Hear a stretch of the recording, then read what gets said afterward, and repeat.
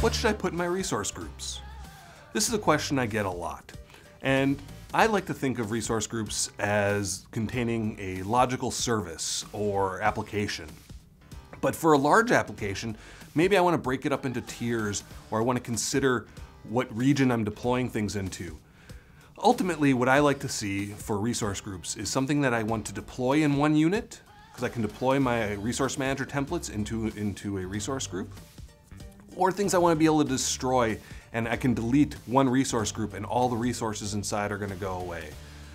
I also like resource groups because they provide me one of the, uh, one of the scopes for billing.